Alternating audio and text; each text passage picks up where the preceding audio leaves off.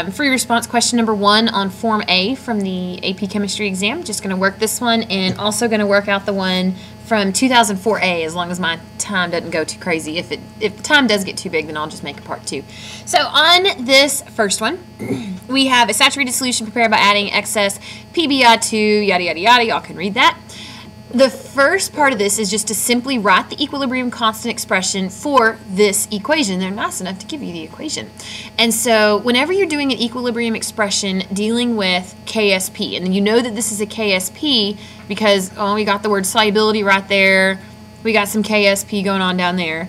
You know that solids and liquids are never included in a equilibrium constant expression, only aqueous and uh, gases. So the equilibrium constant expression for KSP is just, that is a K, I swear, is just going to be the concentration of the reactant, or the products, which in this case is lead and iodine. Now, because it's a 1 to 2 mole ratio, this 2 coefficient becomes iodine squared. So that is your equilibrium constant expression for this particular equation. And then it says calculate the molar concentration of iodine in the solution. Well, back up in here, it said the concentration of the lead ion in the saturated solution, so saturated solution means once it's reached equilibrium, is found to be 1.3 times 10 to the negative third molar. Well, lead and iodine in an equilibrium situation will have a 1 to 2 ratio. So if lead is 1.3 times 10 to the negative 3, well, then the concentration of iodine is going to be equal to 2 times the concentration of lead. And I know it seems unnecessary to write this part, but go ahead and write this because sometimes they'll give you a point just for simply stating the stoichiometry that's between the two compounds that you're dealing with, or in this case, the two ions. And so that's going to be uh, 2.6 times 10 to the negative 3 molar. And then calculate the value of the equilibrium constant. Well, here is the lead ion concentration. Here is the iodine ion concentration. So we just simply plug those in to our uh, equilibrium constant expression. So I'm going to write that up here. KSP is equal to, so the lead was 1.3 times 10 to the negative 3. And iodine, 2.6 times, I'll just put an E, times 10 to the negative 3, and that was squared because iodine is squared because it has a coefficient of 2. And you plug this into your nifty little calculator, and you end up with 8.8 times 10 to the negative 9. Pretty sure we're going to need this again soon. Now, looking at B, a saturated solution is prepared by adding solid lead iodide to distilled water to form 2 liters of solution at 25 degrees Celsius. What are the molar concentrations of lead and iodine in that solution? And justify your answer. Well, you might be thinking, oh, okay, well, up here I had one liter, down here I have two liters, so then the concentration must be twice what I had up here. And that would be incorrect thinking. And the reason for that is because molarity is moles per liter. So it doesn't matter if you have one mole or two moles or a hundred bajillion gajillion mole or liters. It doesn't matter. Sorry, I said that wrong. It doesn't matter if you have one liter or two liters or a billion liters. All that matters is that the number of moles per liter is the same. So if this question asked, uh, how many moles would you have in two liters of solution, then yes, it would be different than what you have up here. But since it just simply asked for the concentration, it's going to be the same. So the concentrations will be the same because molarities and KSP are not dependent on volume. So then moving on to C. Solid sodium iodide is added to a saturated solution of the lead iodide at 25 degrees Celsius. This is important because it means that KSP doesn't change. If, if this was a different temperature, then we would actually have to deal with a different uh, KSP instead of that guy. Um, so assuming that the volume of the solution does not change, Does the molar concentration of lead increase, decrease, or remain the same? And then justify your answer. There's actually two ways that we can do this.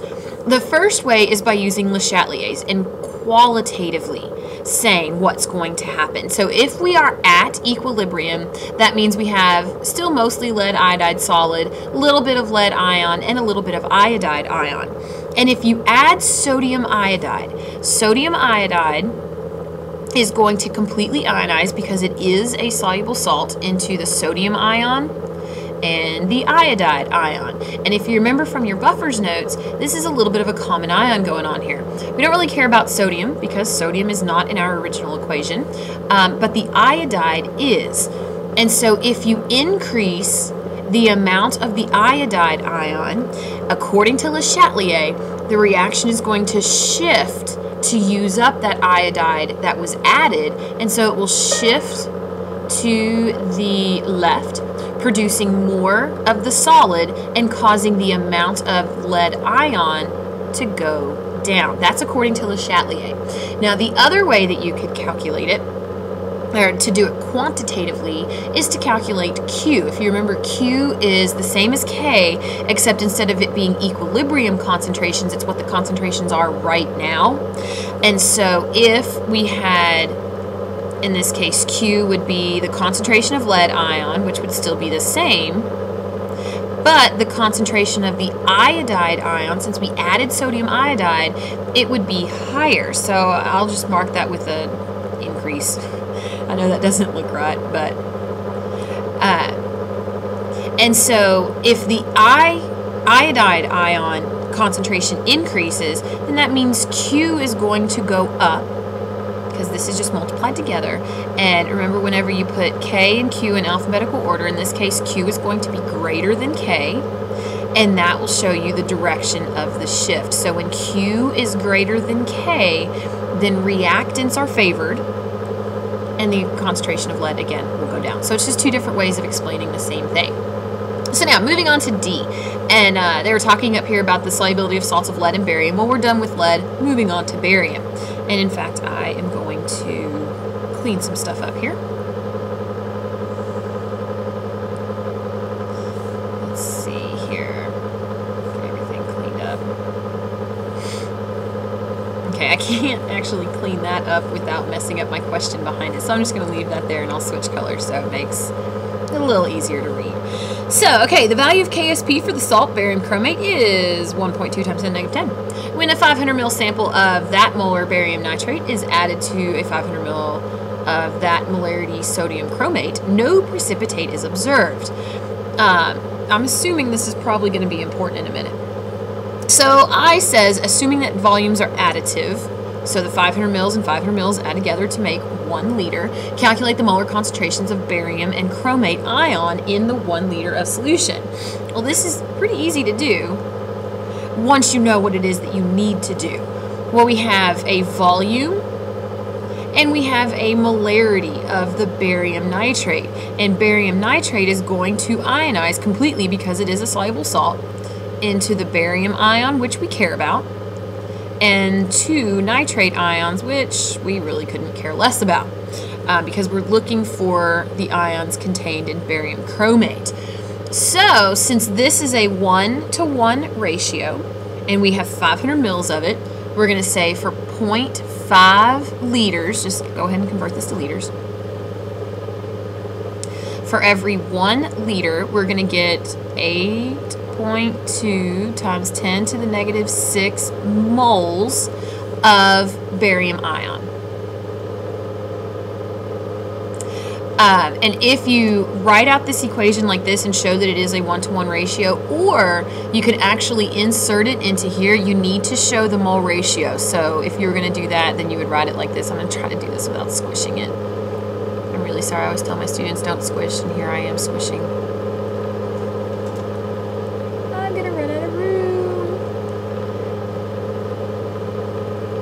So the reason I wrote this is because this mole ratio, showing this mole ratio is in fact very important. Uh, they sometimes, not all the time, but sometimes they will give you points just simply for writing out the mole ratio of how these two guys relate. Um, and so calculating this out, we see that our barium concentration is 4.1 times 10 to the negative 6 molar barium ion. Okay, now moving on to the second one. Uh, oh, no, we're still not done with I. Sorry.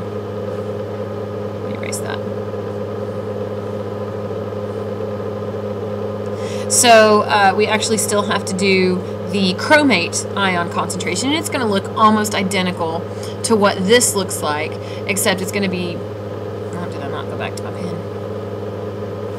It's going to be 0.5 liters. Oh, oh, I'm sorry. This this calculates out to 4.1 times 10 to the negative 6 moles of barium ion. But since it is one liter of solution, that means that it's also 4.1 times 10 to the negative 6 molar. If it was anything besides one liter, um, then we would just take this.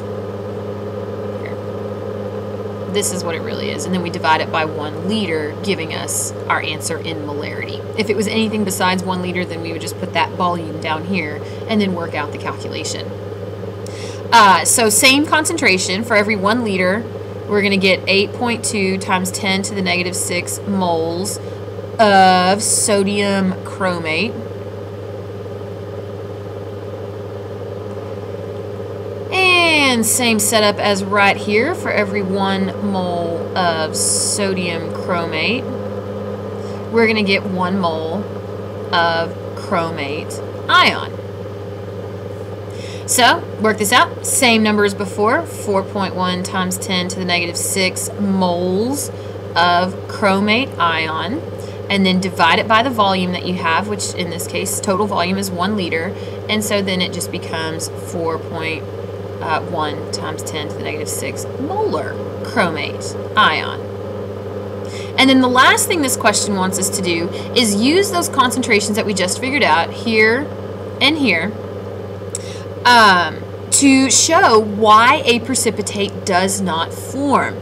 Well, our reaction that we're it's not a reaction, the equilibrium equation is going to be the barium chromate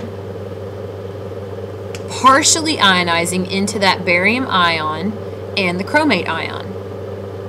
Oh, I'm getting stuck. Sorry. It happens from time to time. My pen just goes a little crazy, gets a mind of its own um, and the chromate ion. So we want to know what would cause the reaction to stay entirely over here in the ions and not produce any precipitate. So the way that we can do that is the same as, as the quantitative explanation I used up here using Q. Let's calculate what's going on right now. So Q is going to be equal to the concentration of barium ion times the concentration of the chromate ion. And it's a one-to-one ratio, so they're not going to have any superscripts or anything like that. And so plug this in, we get, again. It's very frustrating when this happens. Uh, 4.1 times 10 to the negative 6 that's the um, barium ion, and then the chromate ion is actually the same, so 4.1 times 10 to the negative 6, or you could have just put 4.1 times 10 to the negative 6 squared. And that works out to 1.7 times 10 to the negative 11. And that's where Q is. So how does Q compare to K? Well, here's K for this reaction. And so in this case, you can look at these and go, okay, well, K is bigger than Q. So K is bigger than Q, and when K is larger than Q, the reactants are favored. I mean, sorry, the products are favored and no reactants are going to be formed. So that's why there is no precipitate. And at this point, this video is already 14 minutes long. So I'm to go ahead and call this one quits and make y'all part two.